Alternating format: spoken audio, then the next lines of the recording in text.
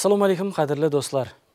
Ассалаумағалейкум жақсы ниетте бүгінгі таңды қарсы алып отырған қадірдан заманасылар міне біз сіздерменен және бір мәртебе ассалаумағалейкум қарақалпақстан көрсетуіміз арқылы дидарнесіп қылмақтамыз. Басланған жаңа күн әр нысанның өмір дәптерінің бір бөлігі есептелінеді оны қандай уақияларменен толтыру болса ол әркімнің өзіне байланысты. Хақиқатында да мақсетлерге ерсу жолында жақсы ниет бірінші орында тұрады. Солай екен, жақсы ниетте қадем таслап отырған бүгінгі күніңіз кеулі һәм мазмұлы өтсін дейміз. Олай болса біз сіздер үшін таярлаған сюжеттерімізді, рубрикаларымызды мейманменен болатығын сәубетлерімізді сіздің назарыңызға ұсынамыз. Демек, ассалаумағалейкум қарақалпақстан көрсетуін баслаймыз.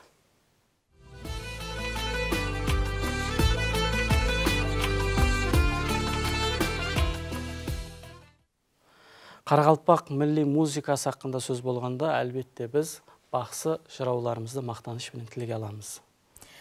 Қорқыт атадан мирас болып неше әсірлерден асып бізге жетіп келген ажайып милли саз аспабымыз бар. Олардың бірі бұл қобыз есептелінеді бұл киелі саз аспабының құдіретінен бір уақытлары жырауларымыз толғау һәм дасталарды жырлаған уақытта аспанды қара бұлт қаплап нөсер жауын жауған жауғанларын біз жас үлкендерімізден көп естігенбіз. Һәм бұл хақында бір қанша әфсаналар да бар.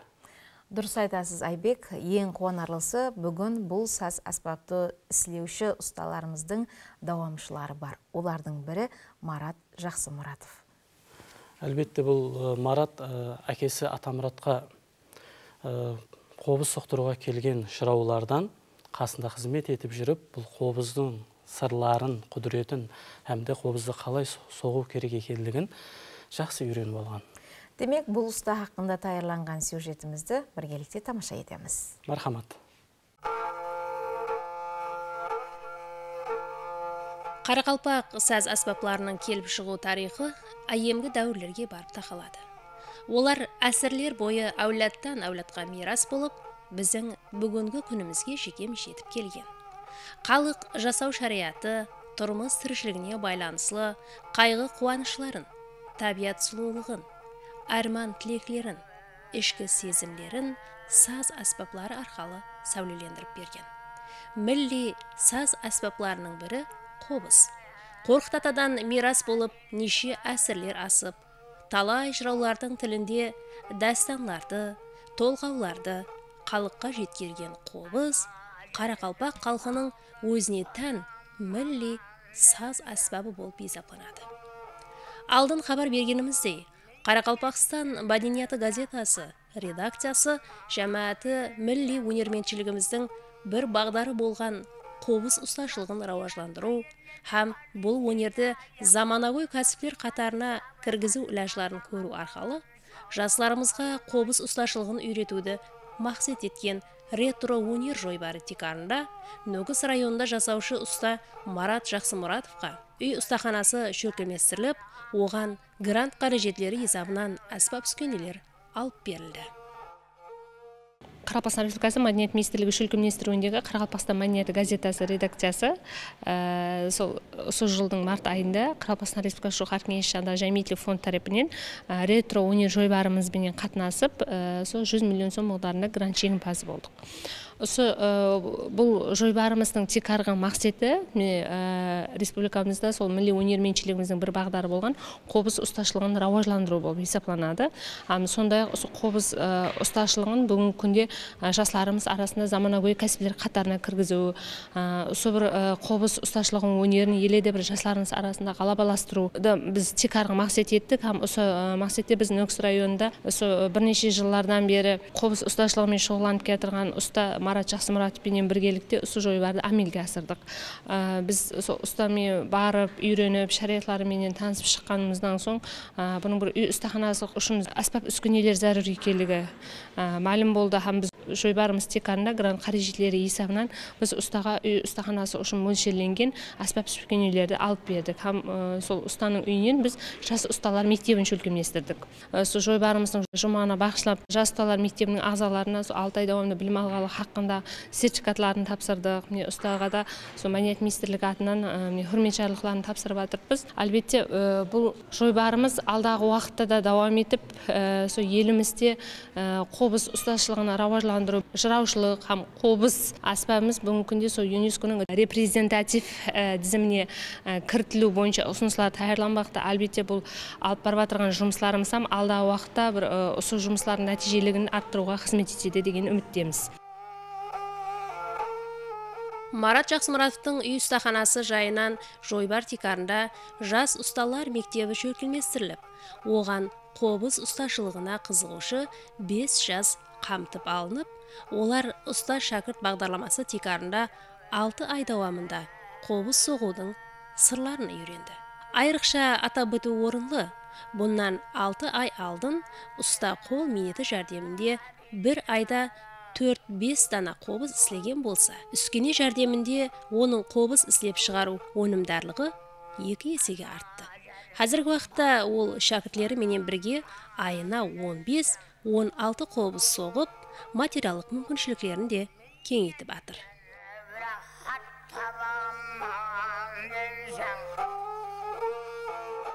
балаларымыз енді мына жырауларға ұнайтын қобызларды соғып басылап жатырыпты бұл мен шекленіп қалмаймын елі де мысалы бесеуін даярласақ онын жиырмасын сондай ниетлерім бар. Мінекей енді нахан ұстаханаларды салып ішлерінде қайтып соғылуларын мысалы бұнан көплеу етіп балаларды ұқыплы қылып үйренуіне мен сол өзім сол алдыма мақсат етіп қойғанмын да. Жетінші классымнан бастап соққанмын. Біздер әулет па әулет жиырма шынжырке атқан ұсталарымыз әкемнің ізіне еріп қобыз соғудың сырларын ағашты сайлауын бәрін үйренген сол ұстазым әкем. Енді соны давамлап келе жатырмыз. Енді мен ізімнен сол шәкіртлерге үйретіп жатырмын. Енді біздер бұрын қолдан соққан уақытларымыз бір айда бесеуін шығаратын едік. Енді қазір станокты әперді грант есебінен қазір анық есептап көрсем 15-16 қобыз соғатын айына. Шәкіртлерімізбен бірге. Осы марат ағаға бір жылдан астам уақыт болды шәкіртлікке түскеніме. Өзім де алдын басқа осы дутар соғу аспабымен шұғылданатын едік. Үйде әкем де осы марат ағамыздың әкесі. Атамұрат ағадан өзі дутар соғу сырларын үйренген. Менің өзім де алдылар осы қобыз саз аспабының өзімнің жора жолдастарым таныстарым нағыз ой тартуға қызығатын еді. Өзім нағыз соямын кейін ала осы қобыз аспабын соғуға да қызықтым. Һәм осы марат ағаға шәкіртлікке түстім. бір жылдан астам уақыт болды әзірде. бір екі қобыздай өзім әзірде шығардым. Оқуда болғанлығы себепті ара арада барып осы марат ағамнан қобыз соғу сырларын үйреніп жатырмын келешекте осы өзімнің тарауымда де осы қобыз саз аспабын жақсы соғып меңгеріп шәкіртлерді даярлап осы халқымызға осы инструмент саз аспаптарын жеткізіп беру ниетім қазіргі уақытта жасылар қобыз соғудың ұсыныларын тәртіп қағидалары менен жақыннан танысып дәзлепкі ұсташылық жұмысларын үйреніп жатыр жас ұсталар мектебінің ағзасы дәулет назар нөгіз қаласындағы опера көркем өнеріне қанегелестірілген мектеп интернатында жыраушылық бағдарында тәлім алады. Ол келешекте жыраушылық өнеріменен бірге жыраулардың текарғы құралы болған қобыз аспабын да соғуды да үйретуді де мақсат етіп алты ай давамында шоманай районынан нөгіз районына қатынап ұстазынан өзіне тән керекті мағлұматты алуға ерісті. Міне осы қолымдағы қобыз аспабын марат ұстамен біргелікте соққанмын. Мен бұл қобыз соғуды марат ұстадан үйренгенмін. Һәм бұны соғу үшін мен шоманай районынан нөксі районға өзім қатындап жолдың ұзын несін білмей ұзақлығы да маған ешқандай білінбей сол қобыз аспабын соғуға қызығып үйреніп келе жатырмын һәм оны шертуден білемін. Өнерге қызығушылығыммен телевизорларда үлкен жырауларды көріп мен соларға әуес етіп оны соғудан үйренуді қаледім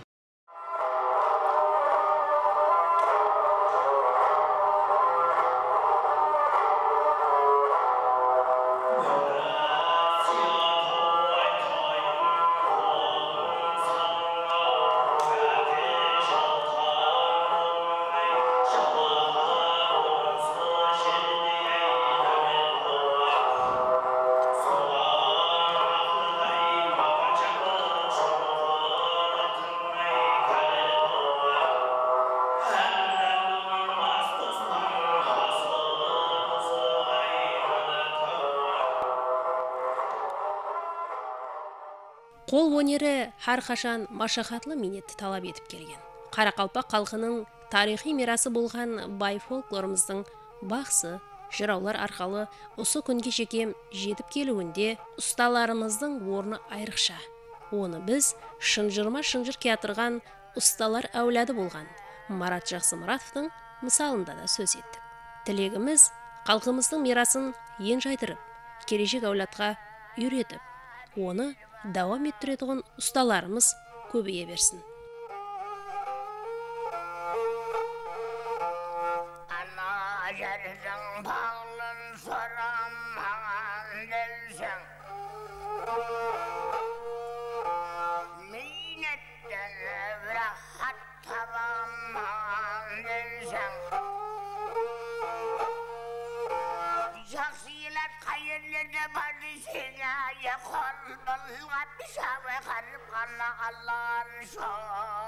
Ай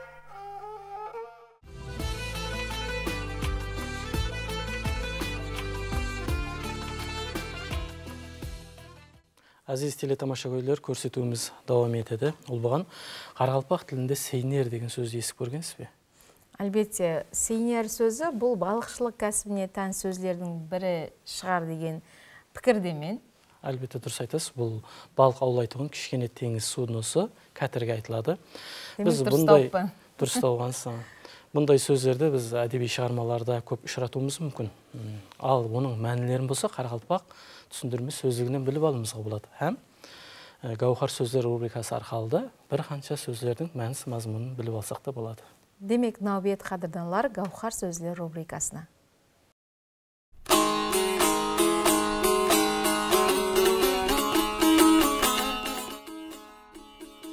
себілшілік қиыншылық азап әуерешілік осы себілшілікте ақ тілінің жарасы бітті бірақ мәңгіге шүлжің болып қалды мұрнынан айырылды. Төлепберген қайпбергенов сегбір. Азап шегіп жүру ізлеу кезу жол тарту азап көру қиыншылық шегу. Сегбір етіп байсары үш айшылық жол тартты. Алпамыс дастаннан. Хақ безерген yolға шықсаң ярашар күн түн сегбір қатып дақ шөлден ашар. Ажинияз қосыбайұлы. Сегіз аяқ. Сегіз сорғыш тәрізді аяғы бар теңіз хайуаны. Сегізлік. Сегіз қатарлы бәнд ұсылында жазылған қосық мұсамман сезік қауетер гуман гүдік шұпха қара көрген жерден нұсқа бер ярым сен қандай нәрсенің сезігін таптың. Мәспатша дастанынан. Қосыбай баласының қас қабағынан ажарынан әлдеқандай бір нәрсенің сезігін тапқысы келіп сыншыл көзлерін қадап отыр. Карамаддин сұлтанов бірақ еш сезік таппаған соң ізіне қайта айланды. Төлепберген қайпбергенов. Сейдін сайланды артықмаш жақсы. Қазанның не сүлейлі сейдіні ұсы отаулардан шықты. Карамаддин сұлтанов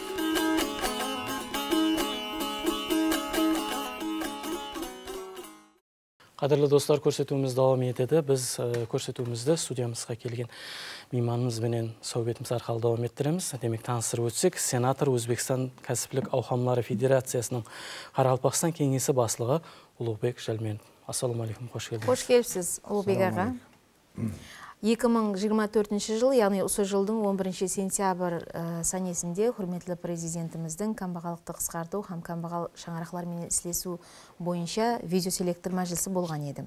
Дәслеп осы хақында тоқтап өтсек. Енді бұл хақында айтатын болсақ қамбағалықты қысқарттыру стратегиясына президентіміздің сол бір азғантай тарихына назар тастағанымыз мақұл болады себебі 2020 жылы бірінші мәртебе осы өзбекстанда қамбағаллық мәселесі көтерілген уақытта соған шейін еш уақытта ол көтерілмеген президентimiz һәм өзімізде һәм әттегі дүние жамаатчылыгының алдында дейміз бірлескен міндетлер шөлкемінде осы өзбекстанда камбағаллық дәрежесін ашық дәрежеде айтып еді яғни халқымыздың арасында 23 пайызға жақын камбағаллар бар деп сол камбағаллықтан қысқарту камбағаллықты ұлыма бартарап ету мәселелері хақында қойылып еді мәселен сол 2020 жылы осы бірінші мәртебе қойылған уақытта әзірге айтқанымыздай бірлескен милләттер шүркемінің алдында да бас ассамблеясында шығып міне біз соған қарсы күресіп жатырмыз күресуді бастаймыз деп беріп еді. Қазір міне бүгінгі күнге келіп сол камбағаллық он бір процентке келді. Яғни кейінгі төрт жылдың ішінде орташа есеппен әр жылы үш процентке азайту имканиятына ие болдық әлбетте ол өзі болмайды. Себебі камбағалыққа қысқарту мәселесіне келетін болсақ оған қарсы күресу мәселесіне келетін болсақ ол бірінші кезекте көп күшті көп не қыл дейміз ықыласты айтуымыз керек. Енді қаражеттері өз алдына. Соның ұшында бұл жерде сол камбағаллыққа тәсір еткен оның келіп шығуына тәсір еткен факторлар себеплер олардың әңгімесін көрген уақытта сол бойынша барлық жерде жұмыслар алып барды. Соның ұшында қазір дүние жамаатчылығы да халқымыз таналып жатыр әзірге айтқанымыздай 11 процентке түсті. Орташа жылда 3 процентпенен ұлыбек сөзіңізді бөлемей 24 проценттен міне 11 процентке түссе деп жатырсыз бұл әр жылғы есапқа тура келгенде 3-4 процент азайып жатыпты бұл көрсеткішті біз жоғары деп қарасақ бола ма орташа деп қараймыз ба? Енді менің ойымша сауалды жоғары орта деп дегеннен көрі оның нәтижелеріне етібар берген беруіміз керек та. Ең текарғы мақсат біз пәлен процентке түсіруіміз керек деген емес. Ең текарғы мақсат бұл камбағал шаңарақтарды сол камбағалықтан шығару мәселесіне келетін болсақ. Бірақ ұлыма дүние жүзіндегі тәжірибеден бұндай жұмыстардан келіп шығатын болсақ үш проценттің дөңгелегінде бір жылда ол жоғары есептелінеді соның ішінде қазір со өзбекстан республикасының президенті көп жерлерге барған уақытта сонымен бір қатарда халықара хамжамиеттің уәкілдері де халықара шөлкемдердің уәкілдері де осы камбағалыққа қарсы күресу бойынша өзбекстанның жұмысын жоғары бағалап жатырғанын айтуымыз керек. Соның ішінде үш процент дегенде содан келіп шыққанда менің ойымша бұл жоғары болып есептелінеді бұл деген осы бола деген деген емес кейінгі дәуірде де бұны камбағалықты толық сапластыру. сапластыру мәселесі алдымызда тұрған үлкен мақсатлердің бірі деп айтсақ болады. Соның ішінде осы бағдарда жұмыстар алып алынды. Мәселен сол жиырманшы екі мың жиырмасыншы жылдан алып қарайтын болсақ қаттек сондай механизмдер болды. Темір дәптері болды жастар дәптері әйелдер дәптері. Сонымен бір қатарда әрқандай министрліктердің дәрежесінде хакимиятлардың аймақтардың дәрежесінде камбағалықты қысқарту бойынша жұмыслардың алып барынуы өздерінің айтайық имканиятынан һәм вазипасынан келіп шыққан халда бұл мәлім бір дәрежеде осы нәтижелі жұмыстар алып барылды деп айтсақ болады. Екінші бір мен айтып кетейін дегенім қазіргі өздеріңіз айтып кеттіңіз. Мәселен сол 2024 жылы. 11 сентябрь күні осы камбағаллықты қысқарту мәселесі бойынша яғни мәхәллелерде камбағаллықты қысқарту камбағал шаңырақларды менен істеу системасын жаңа басқышқа алып шығу. Сонымен бір қатарда сол жаңа басқа алып шығатын қосымша іләжларды хақында үлкен айтайық видеоселектор мәжілісі болып өтті. Ол жерде де осы енді жаңа басқышқа алып барғанда не қылуымыз керек? Қандай жұмыстарды әмелге асыруымыз керек? Білесіз бе өзбекстанда әмелге асырылып жатқан сол реформалардың бір айрықша дәрежесі көп жерлерге салыстырған уақытта конкрет мақсатлер көрсеткішлердің белгілеп қойылғаны.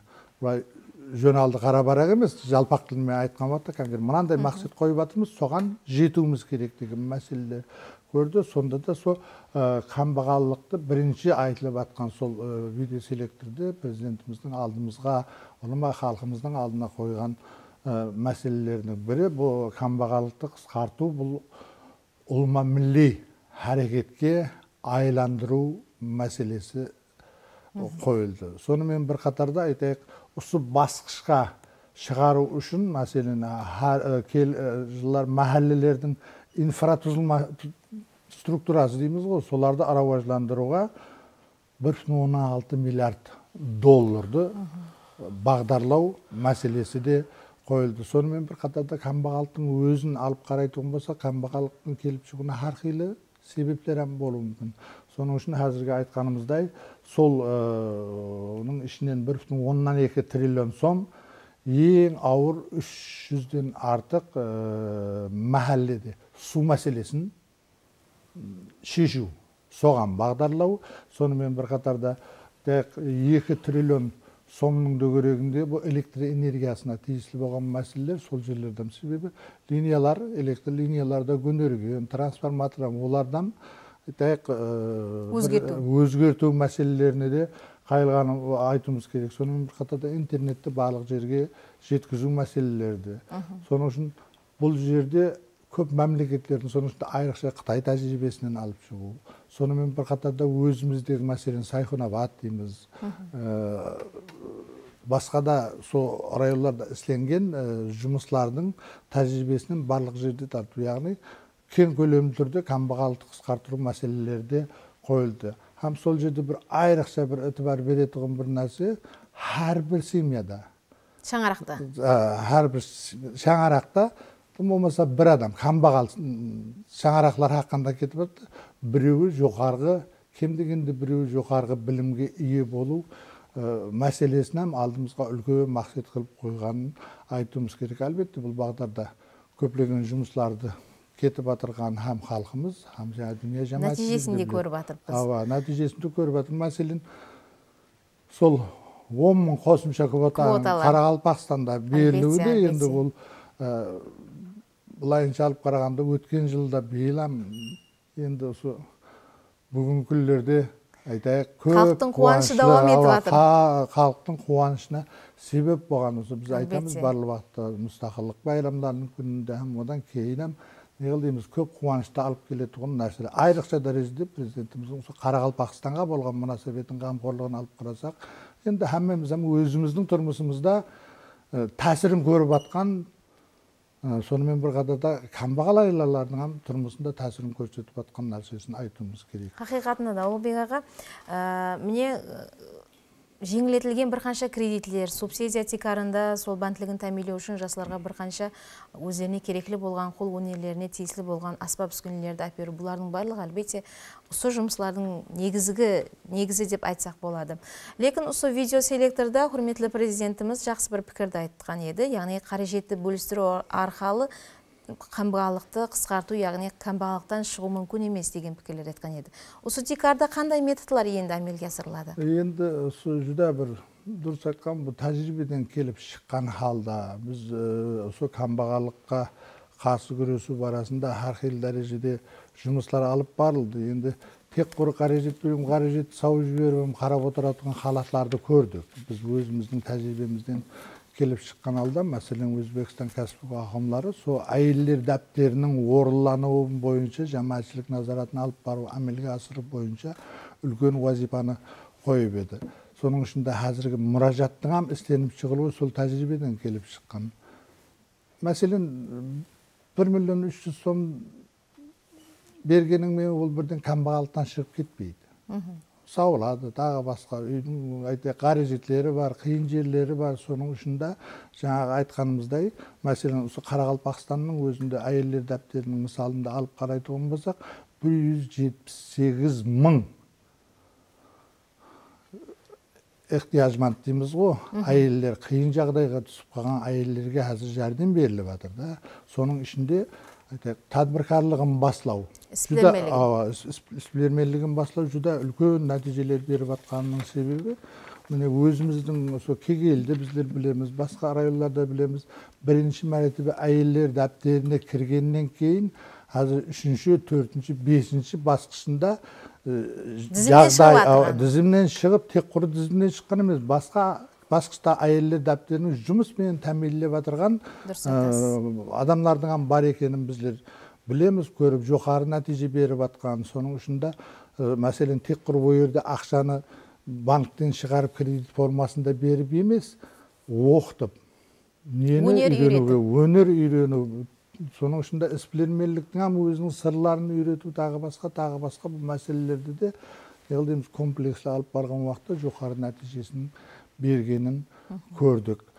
Соның ішінде тек пұлды тарқатып қанбағалықты қысқарту деген сәл натуырақ болады. Сол көзқараста айтылған нәрсе екенін айтуымыз керек. Жүдә жақсы. Міне Өзбекстан кәсіптік ауқамлары федерациясы белсенділері һәм республика нұранилерінің Өзбекстан халқына ә, белгілеп алынған мақсат һәм вазифалар хақында да айтып өтсеңіз. Енді ә, бұл ә, кеше бір екі күн болды 17 Сентябрь сентябрь сәуірсінде. күні мұражат қабыл етілді сол өзбекстан кәсіптік ауқамлары һәм нұранилардың Белсенді. белсенділерінің жаңағы айтқанымыздай 10-шы а, 11 сентябрь күні алдымызға мәселелер қойылған уақытта не істеуіміз керек деген сауал біздерді ойландырды мәселе ұлыма милли әрекетке айландыратын болсақ қанбағалдарды бартарап ету бойынша міне осы ойласқан халда алдымызға вазипаларды белгілеп алып білесіз бе осы мұражатты айрықша айтатын болсақ ең бірінші нәрсе қызыл сызықпенен басынан ақырына шекем мазмұн мәнісінің ішінде сол ұлыма халық ә, әрекетке айландыру. Тұрыпты һәм біз не қылуымыз керек басқалар не қылуы керек. Соның ішінде бір шақырық сыпатында деп қалсақ бұл өзбекстан халқына шақырық. Мәселен ә, ол ә, қай жерде істеп жатқан мемлекеттік мекемелерде істеп жатқан тадбіркарлар ма я болмаса іспілермелер деп айтамыз. Ә, жастар болады үлкен жастағы адамдар болады мемлекеттік емес мекемелер болады тағы басқа. Өздерінің имканиятынан келіп шыққан халда қанбағалдыққа қарсы күресу бойынша өзінің стратегиясын бағдарларын белгілеп алу мәселесінде сол о, 11 сентябрь күні президентіміздің айтайық ұлыма милли әрекетке айландыру дегенге осы мұражат бір жауап сыпатында болды деп айтсақ болады. Соның ішінде қанбағалдықты бұл мұражатты істеп шығуда қанбағалдықты қысқарту бойынша һәм халықара тәжірибе һәм өзіміздің тәжірибеміздің һәммесі терең талланған. Ә, ол мұражаттың істеп шығылуында ілімпазлар ам ә, сонымен бір қатар әмелиятшылар ам бүгінгі күнде істеп жатқан һәммесі біргелікте терең таллаған халда қайсы бағдарда жұмыс алып баруымыз керек кімдермен бірге істесуіміз керек.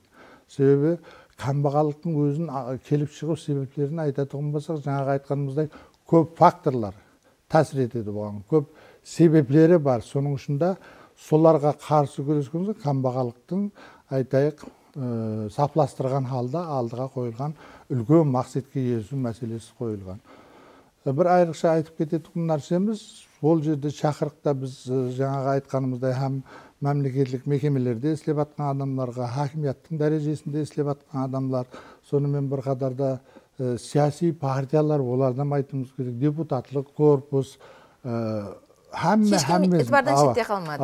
ешкім шетте қалмады. Ұлыма милли әрекет болады ол. Соның ішінде міне біргелікте істесейік деген шақырық деп айтсақ болады. Апуай қылып айтқанда һәм біз не істейміз? Сіздермен біргелікте қандай әмелге асырамыз әркім имканиятынан келіп шыққан халда соның ішінде осы мәселелер көрсетілген һәм енді сол өзбекстан кәсіп ауқамларының һәм нұранилардың уәкілдерінің ішінде біз әмелге асыруымыз басқалармен керек болған 13 бағдардағы жұмыс. Белгілеп алынды. Жүда жақсы. ұлықбек аға сізбен соhбетімізді давам етуіміз мүмкін еді.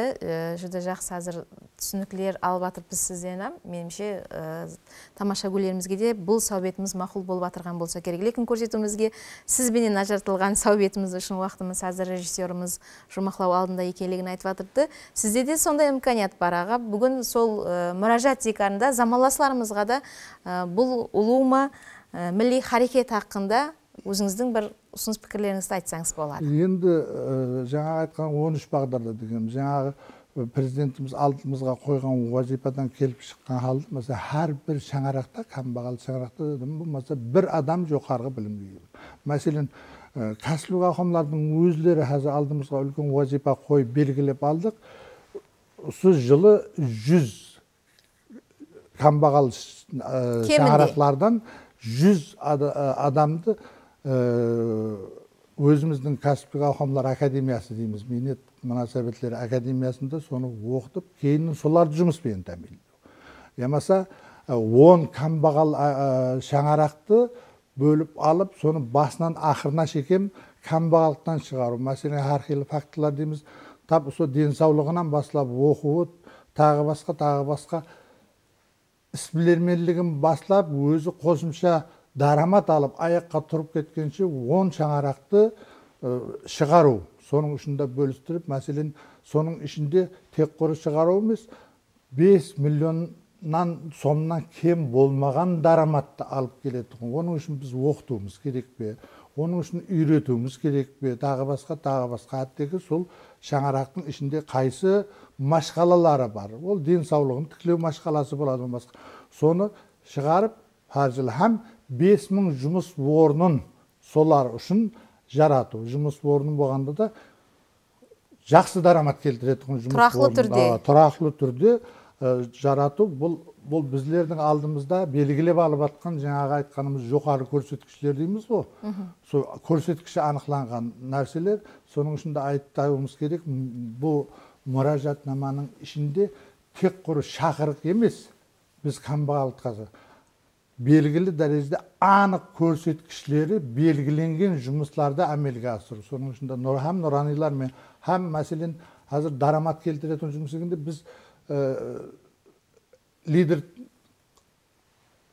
іспілермелер дейміз мәселен соларменен бірге істескен халда Тәжірибелі һәммесін бірге істескен халда айтайық ә, қанбағалықтан шығару бойынша ә, жұмыстарды алып бар біз үйретуіміз керек. Зәрур болса өзі айтайық ықыласпенен өзімнің шаңырағымды қанбағалықтан шығарайын деген мына жерде ниеті бар адамдарды барлық уақытта қолдап қуатлау мәселесі тұрды осы бағдардағы жұмыстарды алып бару қазір белгіленген. Соның ішінде демалдыруы да бар. Мәселен төрт мың баланы демалдыруымыз керек біздер. Әр жылы қанбағал шаңырақлардан келіп шыққан. Бағанағы айтқандай жүз ә, жасты сол шаңырақтан шыққан өзіміздің академиямызда оқытып кейін жұмыспен тәмамдау мәселесі. Қандай жақсы имканиятлар? Aa, сонымен бір қатарда жалғыз кекселер бар дейміз. Олардың денсаулығын тіктеу бойынша айрықша бағдарда жұмыстар кетіп жатады Ә, ішкі саяхат себебі сол ә, се- шаңырақлардың уәкілдерінен өзіміздің Уақыт- уақытымен Өзбекстанның демалдыру. ә, қайсы жерлерді көрген алда демалдыру мәселелері тұрғанын айтуымыз керек бес мыңға жақын не қыл дейміз инвалидтер дейміз ғой Имканияты шектелген. А, имканияты шектелген һәм оларға мәселен протезлері болады ма арабашалары болады ма олардың һәммесін анық белгілеп алғанбыз қай жерден қайсы жерде бірінші кезекте біз хаттауды өткергені барлық жерде шаңырақлардың ішінде қанбағал шаңырақларды толық анықтап алу рұйхатын Тізімін. қалыптастырып түзіп алып кейін сол бағдарда жұмыстар бүгінгі күнде әзір жол хариталары әммесі істеніп жатыр уже осы жылдың өзінде біз нәтижелерге ересетұғын дәрежеде жұмысты алып баруымыз керек мәселен сол он ярым мың нұранилардың денсаулығын тіктеу бойынша жұмыстан алып бару мәселесі сонымен бір қатарда тек айтайық қанбағал шаңырақлардан жүз баланың өзін су спорты дейміз ғой бассейндерді оларды да шөркемлестіру мәселелері жүдә жақсы. Әлбетте әлбетте бұл жұмысларды біз ә, бүгінгі күнде мемлекетімізде инсан қадірі жоғары екенлігін көрсек болады. Ұлыбек аға сізге minnettarшылығымызды білдіреміз. Міне осындай игілікті істерді әмелге асыруда сізге күш қайрат табысылар тілейміз. Сіздерге де ең жақсы тілектерімді сау кетіңіз Рахмет, мен ол болған әлбетте міне бұлардың ә, барлығы арқасында міне мехр ақыбет жақсылық фазилеті жатыр солай емес пе? әлбетте. Міне өзгелерге жақсылық істеу ағайын туысқандардан хабар алу. Міне оларменен қатынастықты бекемдеу бұл әрбіріміздің уазифамыз болып есептелінеді осы темада фазилет рубрикасын давам ettіреміз демек біргелікте тамашалаймыз. Мархамат.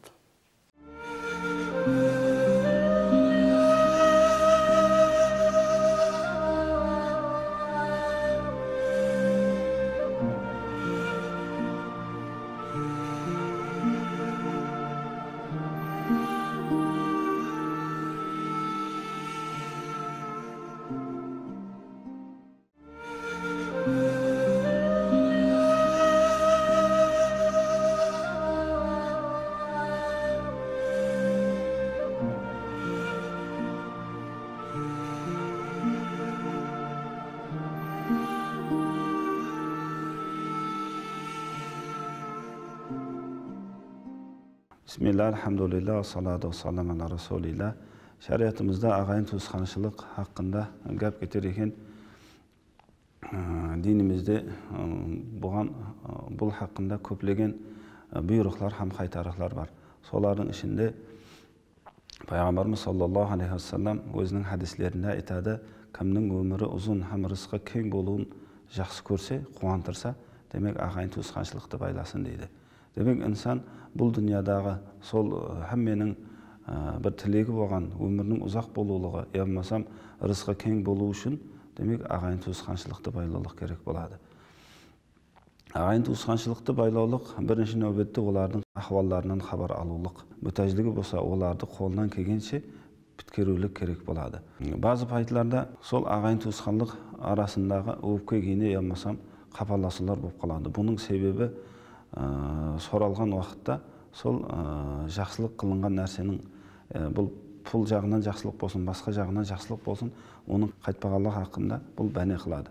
Бұл хақында пайғамбарымыз саллаллаху алейхи уассалам өзінің хадислерінде айтады. Бір сахаби пайғамбарымыз саллаллаху алейхи уассаламға ағайын туысқаннан шикаят қылып барып мен ағайындеріме жақсылық қыламын олар маған жамандық қылады мен оларға кеңшілік қыламын олар маған зұлым қылады деген сөздерді айтқан ақта пайғамбарымыз саллаллаху алейхи уассалам сен осындай жақсы істерде дауамлы болатын болсаң сен жақсылықта дауамлы боласың егер оны тоқтататын болсаң сол жамандық істеп жатырған ағайындарыңменен барабар боласың деген сөздерді һәм айтқан. Соның үшін бұл ағайын туысқаншылық біздердің таңдауымыз емес бәлкім аллах тағала байланулыққа оларға жақсылық істеулікке үзілмеулікке бұйырылған әмелдерден болып есептелінеді. Демек ағайын туысқаншылықты байлаулық сол бірінші нәубетінде олардың үйлеріне барып хабарын алып тұрулық ол келмейді менің үйіме мен хам бармаймын деген хам бұл хам сол ағайыншылықты бұзулық болып есептелінеді. Себебі ағайын туысқаншылықты байлаулық бұл сені көрген адамды барып көрілуің емес бәлкім сенен үзіліп ұзақласып кеткен ағайынды барып хабарын алып көр келуің сол ағайын туысқаншылықты байлаулық болып есептелінеді екен шариғатымызда егер ағасы сіңлісін я болмасам ажапасын көру үшін жолда бір бидайзар атызды басып ә, соны бір пайғам қылып өту керек болса хам соны ә, сол істі қылсын дейді. Себебі ә, ол сіңілдің я болмасам ажапалардың күйеулі сынғанша мені ажаға мен болмасам інім көруге келіп менен хабар алмады деп күйеулі сынғанша сол ә, бидайзар пайғам болып сынғаны абзал деп айтады ғұламаларымыз соның үшін һәм біздер шариғатымызда мақталған сыпатларға ие болу үшін бірінші нәубетте жақсылық қылуға бұйырылған нысандардан демек ағайын туысқандардан хабар алып тұрылуымыз керек болады екен.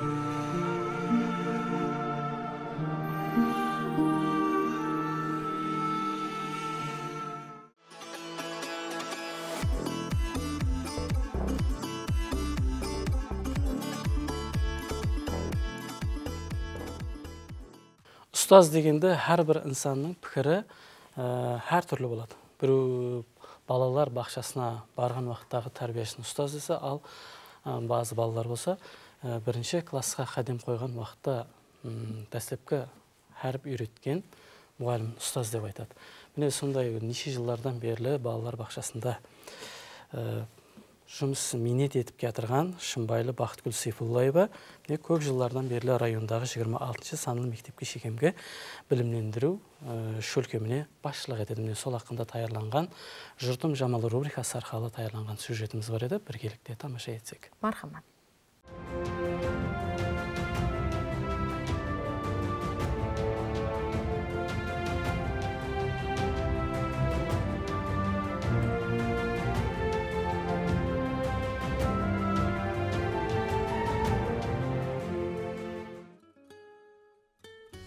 Балалар біздің келешегіміз.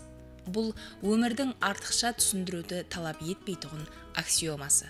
Сондықтан да шаңырақта да жәмиетте де балаларға айрықша ғамқорлық көрсетіліп денсаулықлары беккем озық ойлы перзентлер болып камалға келу үшін шарият жаратуға әрекет етіледі.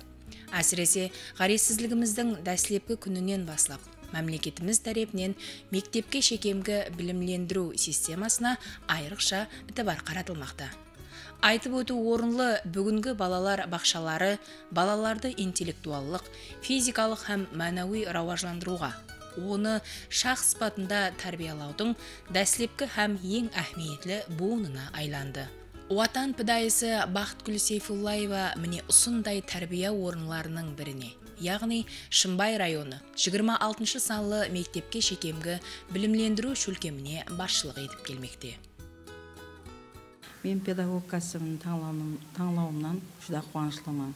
Себебі бұл тарауда 30 жылдан астам өз минетімнің жемістерін көріп келешегіміз болған жастарды балаларды тәрбиелауда бірқанша жетістіктерге ерісіп келмектеміз. Шымбай районы көнші мпж аймағында жайласқан 26 салды мемлекет мектепке шеккен білімдендіру шөлкемінде жүз орынға мөлшерленген болып қазіргі күнде бір жүз елуден астам бала қамтып алынған.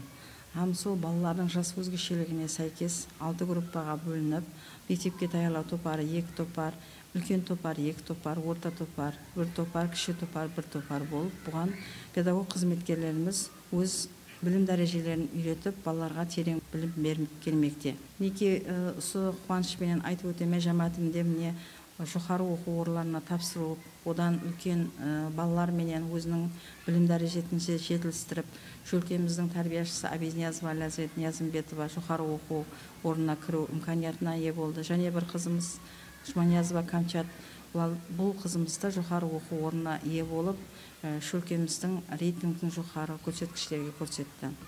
Соныменен бірге міне шөлкемізде ата аналармен біргесілесу һәм ата аналарды һәр топарда ата аналар комитетінің басшыларын сайлау ағзаларын сайлаумен біргелікте шөлкеміздің кемшіліктерін сапыластырып жетістікке ерісіп келатырмыз сонымен бірге жиырма алтыншы салы мемлекеттік мектепке шеккен білімдендіру шөлкемі ақш ауыл қожалық министрлігінің балалар тәлімі һәм ауқаттану үшін марк дауылы халықаралық ауқат дәстүрі балалардың білімін көлікпелерін үйрету һәм балаларға сыпатылы азық ауқат өнімдерін тәминлеу сонымен бірге балалардың санитария гигиеналық талаптарын көлікпелерін рауажландыру бағдарламасыменен міне жұмыс алып бармақтамыз. Міне бұл ақш ауыл қожалығы министрлігінің балалар тәлімі һәм ауқатлану үшін маккоберн дауыл халықаралық оқу дәстүрі біздерге кітапхана мүйішін шөкемдестіріп берді. Бұл кітапхана мүйішінде бір жүз он бестен астам ертек көрінісінде кітаплар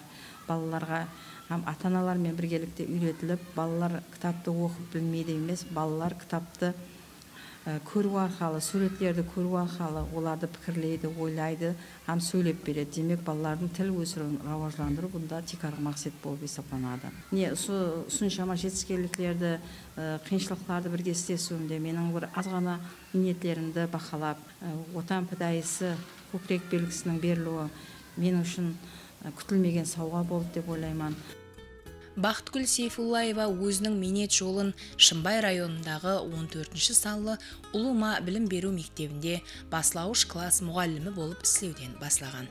2012 жылы оны қазір өзі басшылық етіп атырған мекемеге директор лауазымына тайынлайды.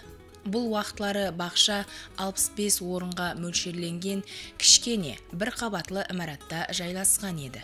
Бірақ бақша жайласқан аймақта шаңырақлар да олардың кіші жастағы балаларының саны да көп еді. Ұсыларды есапқа алып жас басшы балалар бақшасының імаратын заманауилестіріп кеңейтуді балалардың һәммесін қамтып алуды мақсет етті. Һәм соған сәйкес жұмыс алып барды. Минетлер босқа кеткен жоқ. Бақытгүл сейфуллаева осы жылы ватан підайысы көкірек нышаныменен сыйлықланды. Хаялға жаратушы тәрбияшы підакер деп тәріп берсек орынлы болады. Қаһарманымыз бақытгүл сейфуллаева да міне ұсындай фазилетлердің һәммесі жәмлескен. Ол үйінде де жәмәтінде де гөзаллық жаратып һәммені ауызбіршілікке тәрбиялайды халық үшін підакерлік минет етуге шақырады һәм өзі де ұсыған садық әрекет етеді. Біз бақытгүл сейфуллаеваны һәм оның минет жәмәтін жақыласып келатырған мұғалімлер һәм ұстазлар күніменен қызғын құттықтаймыз машақатлы минетлерінде тек қана әуметтілер тілейміз.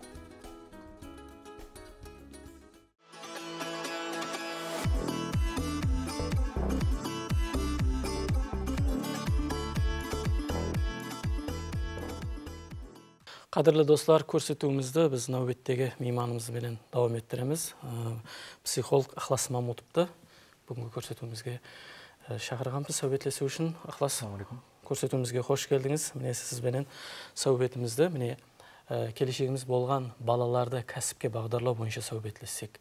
Енді психолог сипатында балаларды кәсіпке неше жастан бастап даярлауымыз керек? Әуелен бар ассалаумағалейкум енді кәсіпке қызығушылығы баланың бұл тәрбияға байланысты. А тәрбие болса білесіз бұл көдектілік уақытынан басталады. Ә, инглизлерде бір нақыл бар. Балаларыңызды тәрбиеламаң сіз өзіңізді тәрбиелаң бәрібір балаңыз өзіңізге ұқсап шығады дегендей. Бала жақындарына қарап ата анасына қарап туған туысқандарына қарап үлгі алады. Сол уақытынан бастап бала бақша уақытынан бастап дәстүрлі кәсіп туралы өзінің түсініктері қалыптасып бастайды. Ә, мектеп жасынан бастап болса бала қайсы кәсіп иесі болуын таңлап бастайды арманлап бастайды мақсат қылып бастайды. Енді анық бірақ біздердің жәмиетімізде балаға кәсіп өнерге бағдарлау бұл жасөспірімдік уақытларынан басталады. Яғни қайсы пәнге қатынасам екен даярлыққа қайсы жоғарғы оқу орнына сайласам екен деп ә, негізгі тек арғы кәсіп өнерге бағдарлау сол жасөспірімдік уақытларынан басталады біздерде жәмиетімізде. Дұрыс айтасыз. Көпшілік ата ана баласын жақсы кәсіп иесі болуын қалайды. Өз арманларына бола өз мақсатлеріне бола, перзентін бағдарлауға харекет етеді. Бұл мәселеде сіз қандай мәслихат бересіз? Біздерді ата анамыз өзі қалеген өзі армандаған кәсібін баласына үйретуге сол өзінің қалеген кәсібін баласына жөнелтіруге харекет етеді. Ал айырымдар болса бұл уақытта балаға мәжбүрлігін қылады. Яғни сенің врач болғаныңды қалаймын Шпакер. сен шпакер болуыңды қалаймын яки ішкі істерді істеуіңді қалаймын дегендей қылып. Ал негізінде баланың өзінің тұғыма қандай да бір нәрсеге мейіллігі болады қандай да бір қабілеті болады.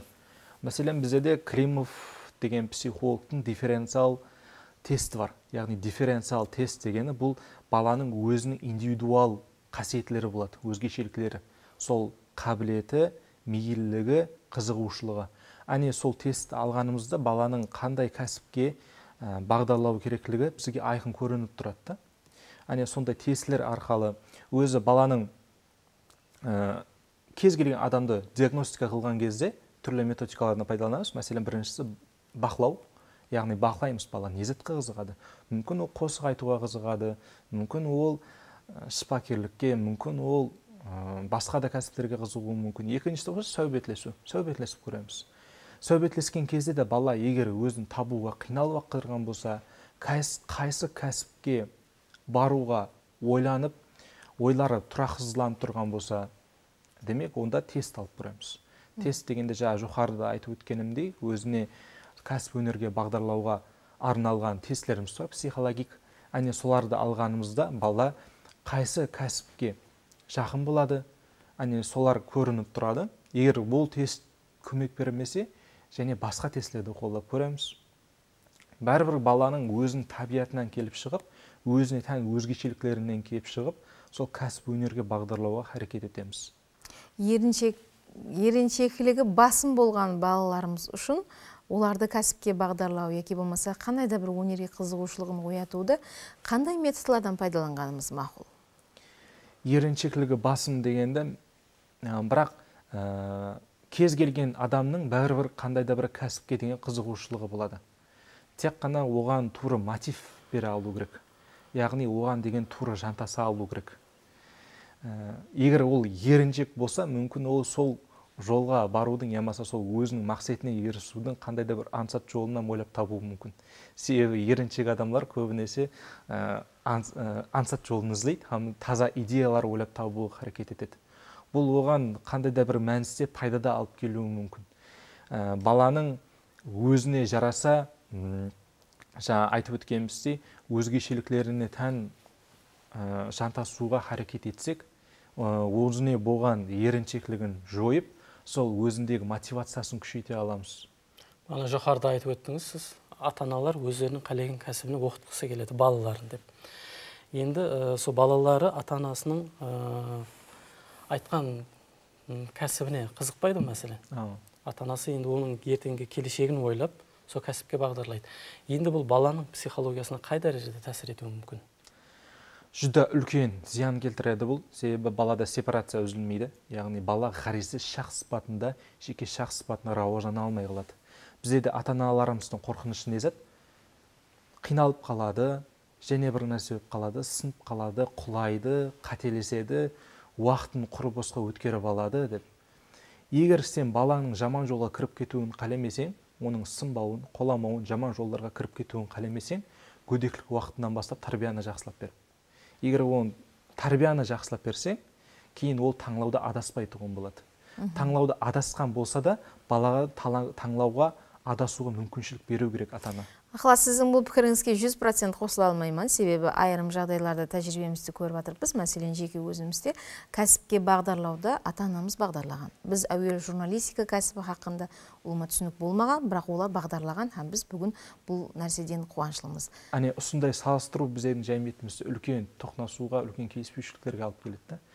Сіздердің заманыңызда басқаша болды қазіргі заманның балаларының психологиясы ұлма басқаша болып жатыр мәселен әр өзіңіз бір анализдеп көрсеңіз 2005-тен бастап ар жақ бетінде 2006-2007-нің балаларының психологиясы басқаша өсіп жатыр себебі олардың қазіргі өсіп жатқан менталитеті ә, заманы басқаша болып жатыр технологиялар рауажданған һәмме нәрсені көріп тұпты һәмме нәрсені түсінеді. Ал 2005-тегі бестің бер жағындағы балалар болса олардың психологиясы басқаша өсіп жатыр. Біздердің хәттекі дінімізде де ол нәрсе айтылған. Өзінің заманыңды өзінің балаңның заманымен салыстырма деп. Себебі ол уақытта 30 жыл 40 жыл өтіп кеткен болады ал 30 жыл 40 жыл өтіп кеткенде болса заман умма басқа жаққа айналып кеткен болады да қазір мәселен заманауи кәсіптер бар. Смм менеджер дейді таргетолог дейді блогер дейді және басқа да кәсіптер келіп жатыр IT тарауы рауажданып жатыр ал оны жас үлкендеріміз түсінбегеннен кейін көп келіспеушіліктер болып жатыр ә, қазір мәселен балалар кейбір спорт арқылы көп жетістіктерге жетісіп жатыр өзінің қызығушылығынан кеп шығып бала жақсы жолға түсіп кетеді. Өзін аңлауға жәрдем беру керек баланы. Бала анаған ұрынады мынаған ұрынады өзінің кәсібін іздейді ол. Мәселен ана таярлыққа барып көреді мына таярлыққа барып көреді. Бала өзін ізлеген кезде әне сол қателіктер арқылы өзін түзейді. Һәм сол арқылы өзін тауып рауажданып кетуіне жәрдем береміз. Егер оны я қателеспесін қой қой не қылмасын қиналып қалмасын дей беретін болсақ онда ол жеке шахс сыпатына рауаждана алмай қалады. Енді түсінікті әрбір ата ана өзінің баласының қиналғанын қаламайды бірақ сол қиыншылықтар арқылы ғана бала жеке шахс сыпатында өзінің ғаресіз пікірін іс әрекетлеріне жауап бере алатын шахс сыпатында ғана рауаждана алады да. Және өзіне болған кәсібіне деген мұхаббаты болған кезде бала үлкен жетістікке жетеді. Мәселен әрбір кәсіптің жақсы нәтижесін көз алдыға келтіру біз жүда жағымлы. Мәселен журналист деп жатырсыз журналист болу жағымлы. Камераның алдында тұрып сөйлеу ә, қандай да көшеде адамдар танып қалса бұл саған мотивация болады өзгеше ілхам бағышлайды. Өзіңнің кәсібіңді телеэкранларда көріп тұрып жатқаныңда я болмаса ағайын туысқандарың е сенің пәленшенің қызын көрдік біз телевидениеде журналист болып істеп жатқан екен десе басқаша боласыз дұрыс па? Бірақ бұл кәсіптің артында қандай қиыншылықтар жатыпты? Таң азанмен келдіңіз ауқатланбадыңыз ұйқыңыздан вас кештіңіз жолыңызда машқала болды. Ә, машинаңыз қандай да бір машқалаға дұрыс келіп қалған болуы мүмкін. Және де айтып өткеніміздей камераның артында қандай уайым болды? Қандай ішіңізде не заттар өтті? Андай толқыну болады инсанда қандай өтеді екен деген албыраушылық болады. Бастапқы эфирлерде қиыншылық болады келістіре алмайсың бірақ ане сол қиыншылықтардың әммесін жеңіп өтуге адамға деген өзінде деген мұхаббаты жәрдем береді да. Бәрібір сіздің пікіріңізге жүз процент қосыла алмаймын. Себебі хақиқатында да балаларымыздың өзіне қойып берсек олардың ә, қызығушылығы қалеуі ойламаған дәрежеде болып кетеді. Иә балаларды бақылап отыру басқаша. Бақылар, балаларды қадағалап оларды қысып тастау басқа түсінік та. Егер сіз әмме ата ана өзінің баласын қадағалап отырады яғни бақылап отырады себебі жауапкершілік ата ананың мойнында болады. Кіммен барып жатыр кімдермен араласып жүріпті қайсы даярлыққа барып бұл бақылау. Ауа бұл бақылау. Ал бағдарлап та тұруымыз керек оларды. Ауа қадағалау жақсы. Қадағалау себебі жауапкершілік ата ананың мойнында. Бірақ баланың қызығушылықтарымен қызықпау оны әмме нәрсеге тосық қойып тастау оның өзін табуға өзінің кәсібін иелеуге мүмкіншілік бермеу әне сол жаман нәрсе. Баланы бақылап қадағалап кім қаяққа барып жүріпті не затқа қатынап жүріпті не затқа оқып жүріпті қандай ұстазға барып жүріпті не үйреніп жүріпті келешекте кім болғысы келеді? Оларды қадағалап өзінің пікірін айтып ұсыныстарын айтып жол жоба көрсетуі бұл нормал жағдай. Болар бала бес жасынан дегендей ә, базы бір балаларымызды кішкене уақытынан ақ қайсы кәсіп иесі болар екенін біліп алуға болады. Солай емес пе? Әлбетте. Қадірданлар хадиме ақ міне көрсетуімізге ажыратылған уақытымыздың жұмақлану алдында екенін әзір бізге сағат тілері көрсетіп жатырыпты ықылас сізге миннетташылығымызды білдіреміз. Жүда қызық тема. Бұл тек қана бізде емес барша тамаша көрермізді қызықтыратұғын тема. Әлбетте бұл темаға біз және келесі көрсетулерімізде қайтамыз. Сізге миннетташылығымызды білдіреміз. Ә, жақсы саубет үшін миннетташылығымызды білдіреміз. Саубетіңіз үшін рахмет айтамыз. Қадірлі достар міне көрсетуімізге ажыратылған уақытта демде өз жұмағына жетіп қалды.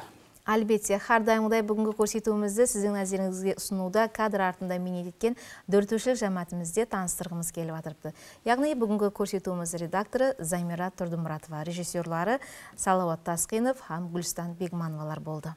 Және де операторларымыз бірназар ибназаров октам жаббарбергенов онан қала берді телеорай қызметкерлері талғат қожамұратов саламат сапаров бақыт ережепов һәм гөззал алланиязовалар. Міне осы нысандардың қызметлерінің минетлерінің арқасында бүгінгі көрсетуіміз сіздердің назарыңызға ұсынылды. Сондай ақ грим ұстасы палзада қалменоваға да өздеріміздің айрықша миннетташылығымызды білдіреміз. Басылаушылар айбек төреев әмде бұған ерімбетова бүгін сіздердің қызметіңізде болды. Келесі жұма және жақсы тілеклер жақсы ниетлерменен тікелей эфирімізде көріскенше қош сау саламат болың.